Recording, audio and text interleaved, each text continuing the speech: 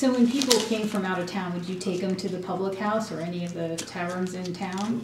Right, well, basically, the public house, actually, outside of the building that we showed you, the Crossroads Inn, they were the two places. Now, um, the, they were both stage stops.